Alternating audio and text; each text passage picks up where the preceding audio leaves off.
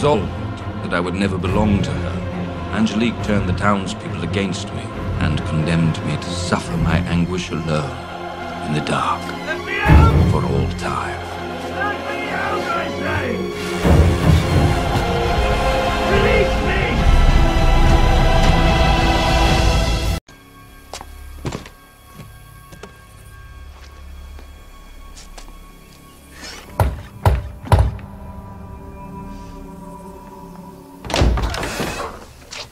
Hello, I'm Victoria Winters. Congratulations.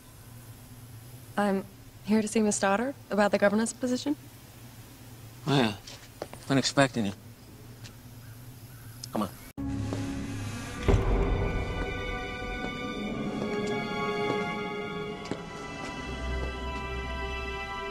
Have you ever seen such majesty? Every day. Are you stoned or something? They tried stoning me, my dear. It did not work. When did they start allowing women of the night on estate grounds? Carolyn. Ah, yes. Uncanny, is it not? Worth every hour I spent posing.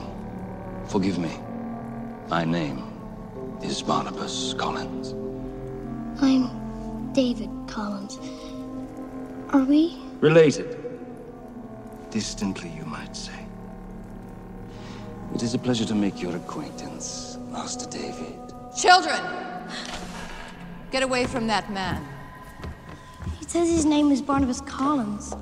And I'm pretty sure he called me a hooker.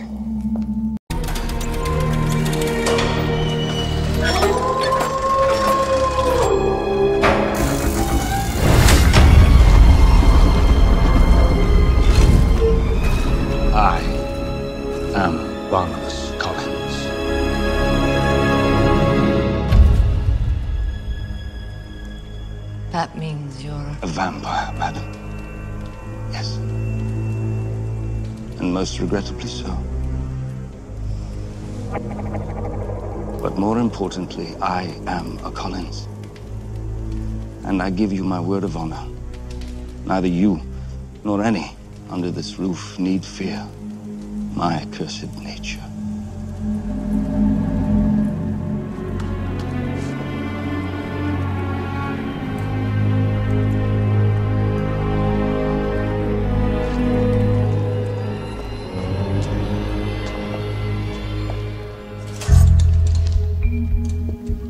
Father had quite a flair for secret passages and rooms.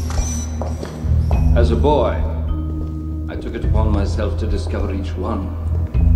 But this one, this one was always my favorite. Family is the only real wealth, he would often remark. Though clearly, he was not opposed to other kinds. Oh my god. We've been sitting on top of a fortune all these years. Know this. I mean to stay.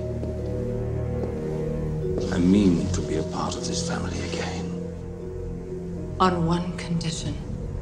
Yes, Promise me that this, all of this, will remain our secret. so be it.